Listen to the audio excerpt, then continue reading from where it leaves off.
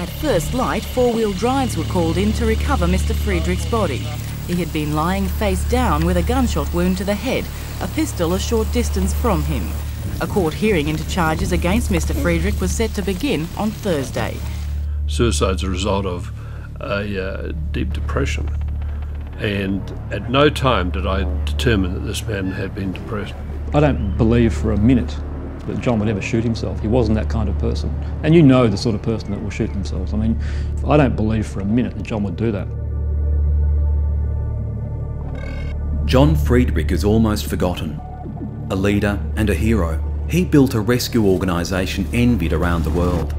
He was also a criminal mastermind who seduced governments and shook the Australian banking system. John was a driven man, quite a powerful person. I've never known anyone that when he walks into a room, he'll command the room. He was able to just get anyone on side and get his story across to anybody. It was quite quite remarkable. He would sell ice to Eskimos, and the Eskimos would come back for more. If John suggested we were going to do something, it generally happened. I don't think he should be seen as being a con man, a confidence trickster. He certainly, uh, there was no issue of demonic motive. John Friedrich came and went as he pleased various uh, defence establishments and uh, seemed to operate in and out of them as though he owned them. There was a group of questions that he never answered, and that was about his identity, where he'd come from, and his early life. If I say I am John Friedrich, you don't believe it. If I say I'm not John Friedrich, you don't believe it. So you've got to say, you've got to take what you say. Less than an hour ago, the Corporate Affairs Department issued an alert to all airports and seaports to be on the lookout for John Friedrich, who resigned yesterday as the Council's chief executive. There was a large sum of money missing. I quote one of the detectives, it was bigger than Texas. When it was first reported to the police, the amount believed, which was uh, obtained, was about $40 million.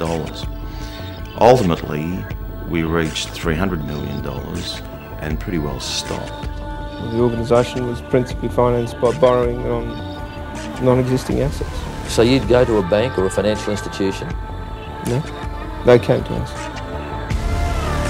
When we used to walk to court up Russell Street, uh, people who recognised him would cheer.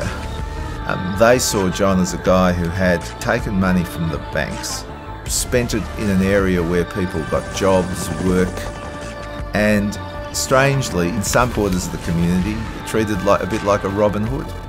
They had a fair amount of resources, they had highly intelligent people, they had paramilitary training. It was a private, not for profit organisation, and our charter was to rescue people. That was what we were there to do. We did a job once at Pine Gap, which is a US top secret facility.